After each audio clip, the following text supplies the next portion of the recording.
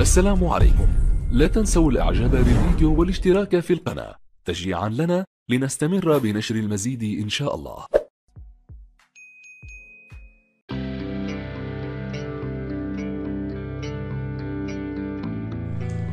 نضغط على زر المنيو الموجود بالريموت. تظهر قائمة بنضغط على التركيب.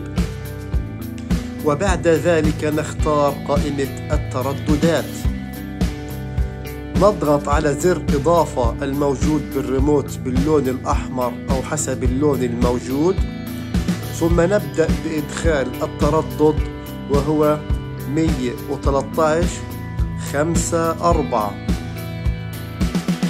مع معدل ترميز 27500 الاستقطاب عمودي. نضغط OK.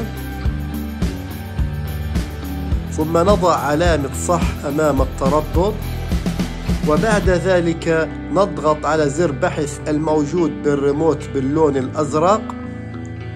ثم نبدأ بعملية البحث عن جميع القنوات. ثم حفظ البيانات.